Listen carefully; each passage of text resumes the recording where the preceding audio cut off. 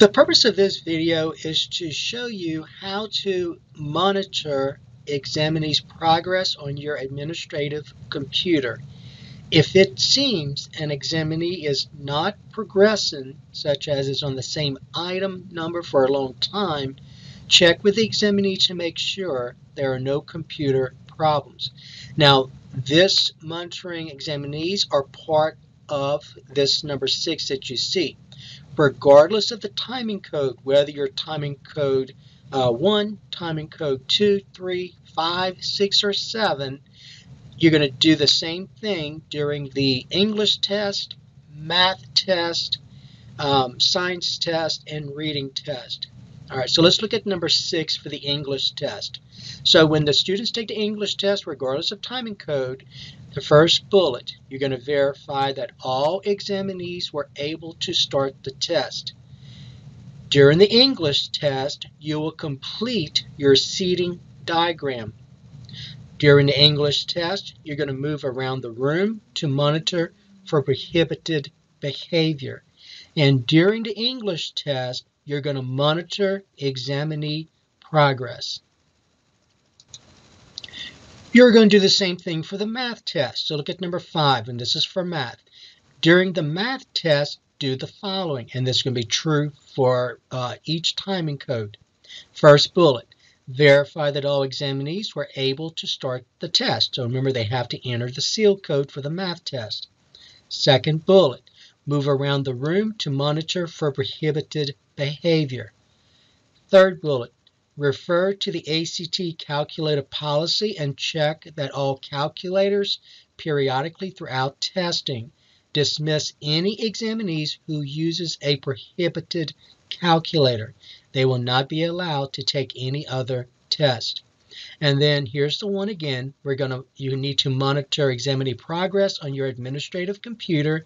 If it seems an examinee is not progressing, check with the examinee to make sure that there are no computer problems. All right, for the reading test, number four, during the reading test, do the following. Verify that all examinees were able to start the test. So again, that's that seal code. Move around the room to monitor for prohibited behavior. Monitor examinee progress on your administrative computer.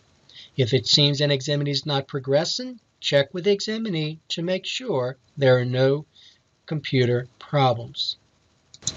And then finally, for the science test, during the science test, do the following.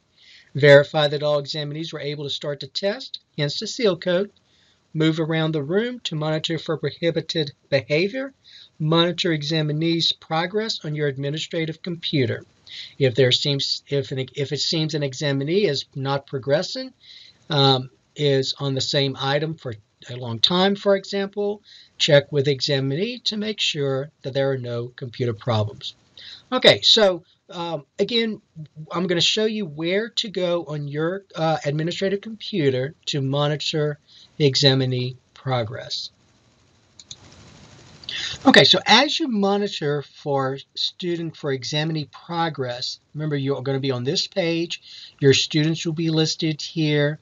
You will have given them their authorization ticket. They will have entered their username password, and then um, they will be ready to take, let's say, English. So you're going to give them the seal code. Then they're going to enter the seal code um, in the process. As you go through and you're monitoring examining progress, you're going to constantly click, uh, click on this refresh button. So make sure every time you go back to check to see how students are doing, you click on this refresh button. So just click on it and then things will be updated. Okay? All right, so you can click it here or you can go down here and click the refresh button. All right, so keep that in mind as you go through monitoring uh, progress on your administrative computer. So as was stated, so you're going to give all the examinees a seal code, let's say for English, and then they're going to go in and start taking the test. So after, let's say, and remember the English test is 45 minutes. So after about, let's say, 10 minutes, you go in and you check and see how students are doing. You walked around, you made, you made sure that the students entered the seal codes and they were working on the test on the computer. So after about 10 minutes, 15 minutes, let's go in and see how they are progressing. I just want to remind you of something before we go to that part. You see this right here. Just remind you about a previous discussion we had. Notice this is gray, right? So that means that the students have not logged into TestNav yet. That's what that means. So you see where it says student test status? Uh, if it's uh, they're ready, it's been unlocked. So you unlock the test, but they have not logged into TestNav and started any of the tests. Okay, so all of this is gray. All right, so so let's let's uh, go in and look to see how to monitor the progress when they're actually in TestNav working on a test. Okay, so now after, let's say, about 10 minutes, um, you want to see how they're doing. Uh, 10 to 15, let's say. So you're going to go to refresh. See right now, it's all gray, right? So if you go to refresh, let's click on refresh. Look at what happens. So I'm going to go to refresh. It's still turning. Let's see. All right, so now you see it's active. You see this? Okay, so that means that means that all four students are actively taking the test that they're on right now. In this case, it's English. So let's look at the first student. So if I click, you see where it says the word active? So if I click on it, it's going to open it up. You'll see student test and item progress. So if I go, see that those two little arrows that are in a diagonal right here? If I click on it, it will expand it. And so now you can see for that one student, what that student has done. So notice it has a session name, the test, the test status, so active 3%. So it's probably indicating that the student has completed 3% of the test. So there are 222 items remaining, meaning all four tests. Okay? All right, so so um, notice uh, it, it indicates which items they've answered. Okay, so I want to show you something. You see the section one? Don't confuse section one with English, with that first test. So these section numbers don't correspond to the test. This section right here, um, section three, is the uh, where it says section one, sequence three. That's the examinee's agreement. So now when you go to section two, that's the English test. So in the English test, that web content, that was the instructions. So the student read the instructions, and then here's the first item of the test. The student skipped two and three for right now. The student answered four. The student answered five. Okay, and then notice up here, see where it says um, uh, uh, right here, the student answered five items. Now be careful. So, so those five items are not necessarily items to uh, uh, to a test. They could be other items on the test they had to they had to look at. So, for example, one of them was in section one, sequence three was the examinee's agreement. They had to answer that. Okay. Okay, so so notice there are three that's no response required. So that's the first two. So the first two was was um, um, like the uh, contact information. So apparently that's not required. So they skipped it. They they skipped it. That was not required, um, according to this in in the um, in in in the um, the training module or the training platform. Um, so so just just just be careful how you read this, and you could refresh. And obviously, the student probably didn't do anything else so far. But if you refresh, all right, and let's go to another student. So to go to the other student, you see that little X right here? I'm going to go ahead and X out. See right next, not right here, X out. And then let's let's look at the other students. So let's go to the second student listed. So I click on active, and then that is how, and I clicked on that, that um, two arrows. So that's how you can see how they're progressing. There are the times listed. So notice it could be that, that um, um, that this item right here, looking if, if that's the last item they're at, look and see the time. If they're taking too long at that item, check and see if they're having issues, uh, computer issues. Okay, um, so so and then notice the student completed 5% of all the items on the test that needs to be completed. So you X out. So I'm going to go ahead and click on that little X right here. So when I X out, I'm going to go to the third one. So when I go to the third one, let's see what happens. So I'm going to go to the arrows right here, click on it, and I can see how that student's progressing. So just scroll all the way, and you can see all the items. So remember, section 2 is math. I'm sorry, section 2 is English. There are 75 items in English, right? So look at those 75 items. Section 3 is um, math. So look, you go from 1 through 60. There are 60 items in math, and so there's the 60th item right here. And then see where it says web content? That's the instructions to the test, uh, to the math test, English test, whatever test they're on right now. Section 4 is the uh, reading test. There should be 35 items. Um, actually on this, I'm sorry, there's 40 items, excuse me. 40 items on the um, on the uh, reading test, and then the science test is the last one. There are 40 items as well. 35 minutes, 40 items for each. Okay, so that's what that is. Um, so, so if you need to X out, go to the next one. You can go here to the little X uh, right here. Click on it. It'll bring you to the other one. And then if you go to the other one, the last one, um, you do the same thing. So use those arrows up here, the diagonals, and then you could see which which items the student answered. But again, remember the um, the English test is, sec is section two, and those numbers are the item numbers of the English test. The uh, math test is section three, and there are the 60 items on section three. The reading test is section four. There are 40 items. For a standard time test, it's 35 minutes. And then section 5 is the uh, science test, which is also 40 items. And again, for a standard time test, that is 35 minutes as well.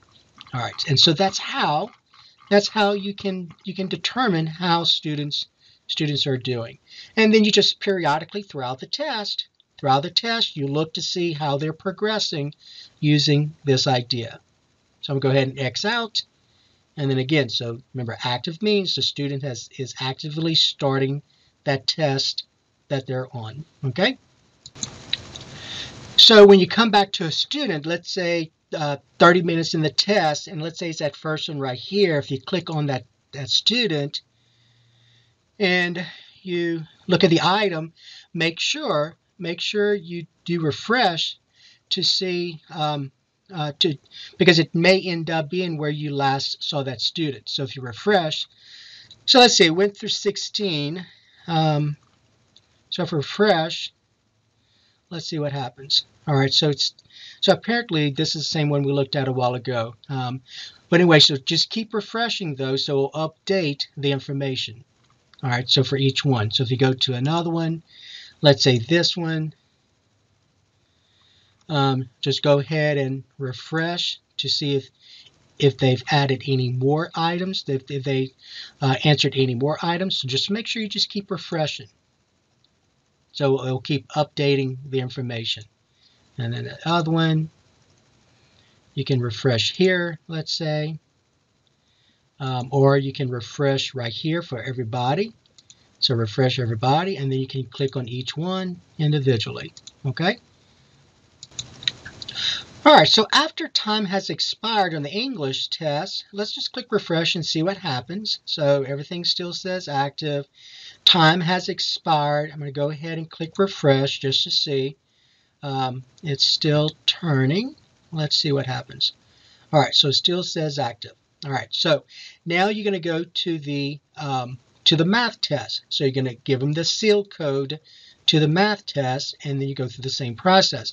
But before I do that, let me just go to active, uh, I'm sorry, let me go to one of them and see um, if it indicates anything in terms of the test being completed, uh, the time running out. So um, I'm on number 70. There's 75 items on the English test.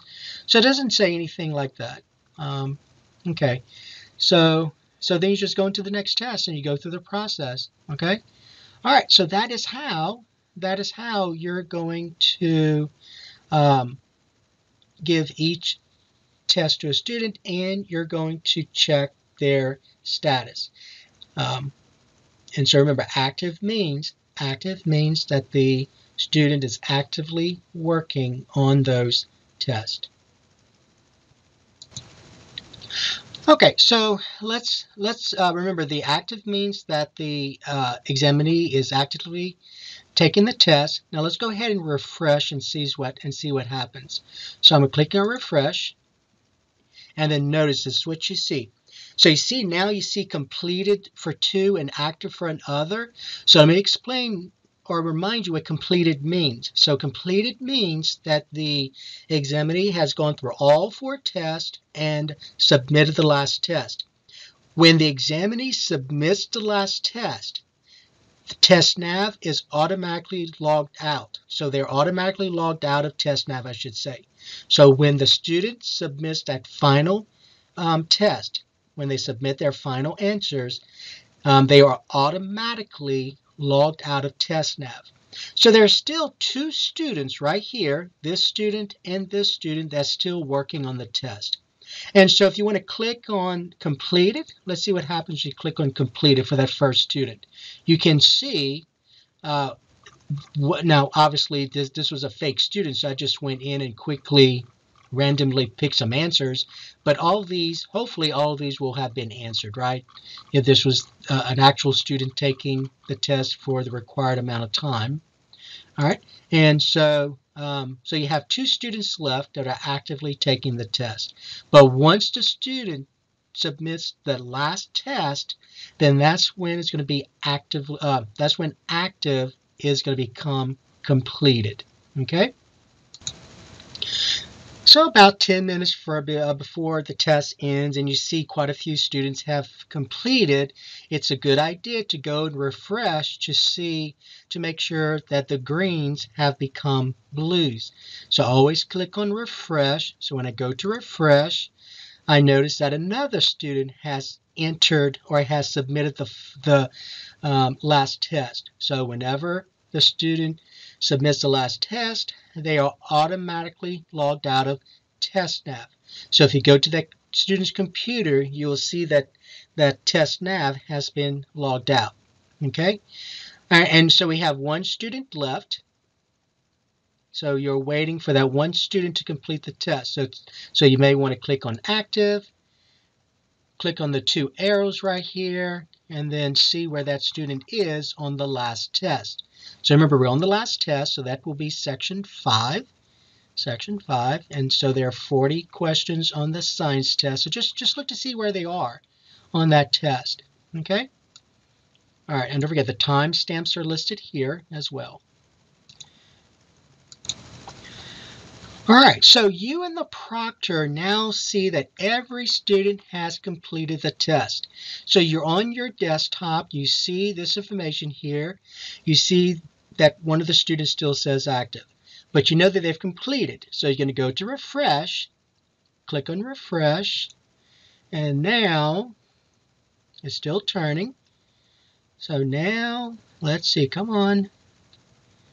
All right, so now everyone's completed the test. All right, so now everyone's completed the test. You're going to follow the, the remaining directions because remember, you now have to pick up um, authorization tickets and you have to go through the process. So make sure you're following the manual verbatim. Okay, so, so remember, you still have quite a few things to do. But at the end, remember, at the end, you've got to stop the session. So I don't have any students in here that, that haven't taken the test. Remember, we talked about that in a previous session, in a previous section. So remember, the, uh, the test coordinator is the only one that can remove students. Um, so if you do have any, remember, the test coordinator is the only person that can remove students. I don't have any students that exited, right? So that's a good thing. So this was an easy session. Uh, to test. All those students complete the test, so so that makes things so much easier for me. It looks like I didn't have any irregularities. Um, so we're now going to stop the session. So we're going to go here, and I'm going to click on Stop Session. So once, remember, only do that if er, if if uh, the students have taken all four tests. Okay. So, so if you're if you are at the end of the first test on a multiple day test, you don't do that. Okay. So remember, only after the students have taken all four tests. Okay. So stop the session, and now you see right here it's red. It's no longer green. Okay. So that is how that is how you're going to monitor examinee progress on your administrative computer. So that will be the end of this video.